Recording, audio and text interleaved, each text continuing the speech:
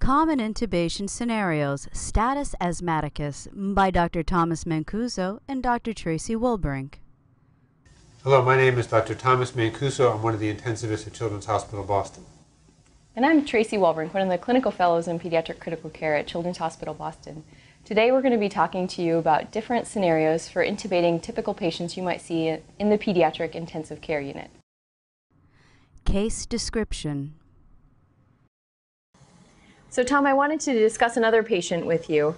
Uh, this patient is a 12 year old boy with a known history of asthma who's had multiple admissions for asthma exacerbations in the past, who was admitted to our PICU about 10 hours ago. And he's been having increased work of breathing and decreased mental status over the last few hours. When I've listened to his lung exam, he's got very decreased breath sounds bilaterally with um, very scattered end expiratory wheezes. Um, he's tachycardic, as you can see, to the 120s. His oxygen saturations are slightly lower than they were upon arrival.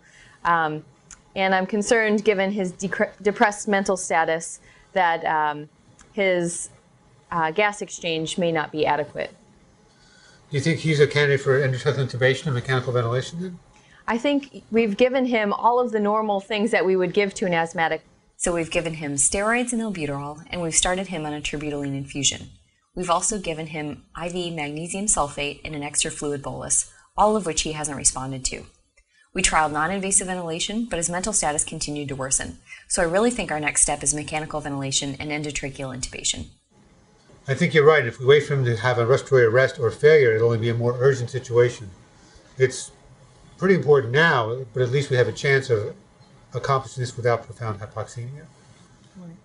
I'll grab some supplies and You'll I'll grab some prepare the medication? Induction medications. Perfect.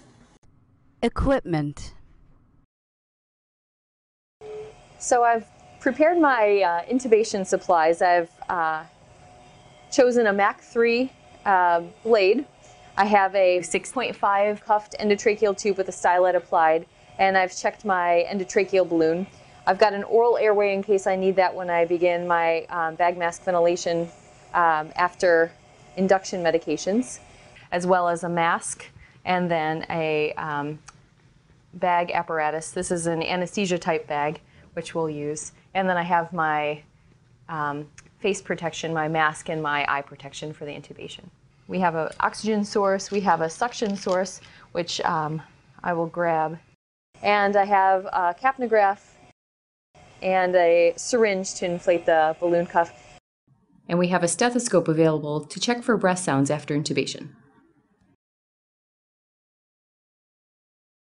I've also placed a roll under his head to give him a little better sniffing position because when he was lying flat, his head was a little bit overflexed. So I think we have him in good position. And I have a good mask seal with my um, bag mask device. Yes, I'm happy you took the trouble to put the pillow there to make your laryngoscopy easier. And it's good to see his oximeter reading increase with your careful delivery of an FiO2 of 1 with a tight-fitting face mask. That's not a long-term strategy, so I think intubation still is indicated here, but with your efforts, we'll have a little more time mm-hmm. for him to tolerate the apneic period. Medications. So my plan for this asthmatic is ketamine, the induction agent best at causing bronchodilation. Mm-hmm. I'll also give a dose of IV lidocaine, which might have a tiny effect in decreasing his response to laryngoscopy and intubation.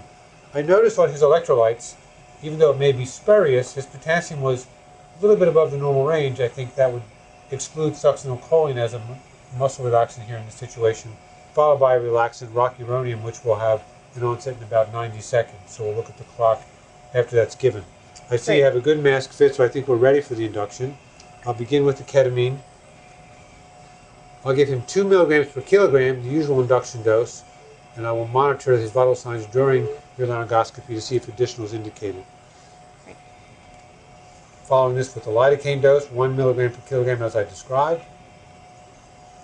And now looking at the clock to time the dose of the muscle relaxant, the rocuronium at 1.2 milligrams per kilogram, the dose used for more urgent intubations.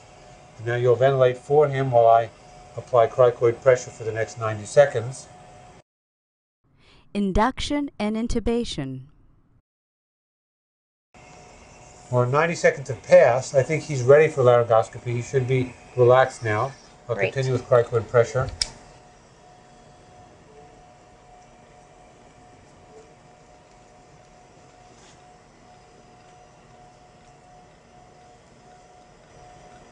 It's very important that you not take your eyes off your target as you did not.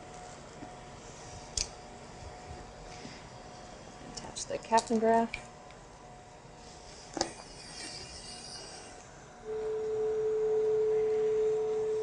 And I'm going to bag uh, ventilate him with a very slow rate and a very long expiratory time. Given his air trapping, he's going to need a very long expiratory phase. That's very important. In this situation where it's an urgent intubation, someone inexperienced would want to hyperventilate quickly to fix the oxygen saturation and also to lower the PCO2, and that could cause severe barotrauma, perhaps even a pneumothorax, worsening the situation dramatically. I think we have successfully intubated Breath him. sounds are equal and certainly coarse with wheezing, but they're equal, and I see the end tidal CO2. Has a Reading. color change. Yes. Perfect. Now we'll secure the endotracheal tube before proceeding. and get a ventilator um, over to this bed space, and we'll make sure that we give him a slow rate, prolonged expiratory phase, and we'll begin with our long term management of this intubated asthmatic patient. Please help us improve the content by providing us with some feedback.